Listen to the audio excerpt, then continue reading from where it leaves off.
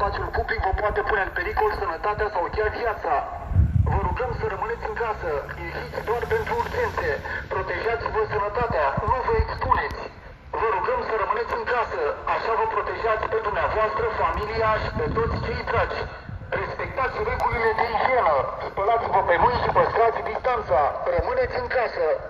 Vă rugăm respectați regulile de izolare și distanțare socială, nu vă expuneți. Respectați recomandările pentru deplasare. Sunt pentru sănătatea tuturor. Este foarte important să rămâneți în casă și să evitați activitățile care vă pot expune.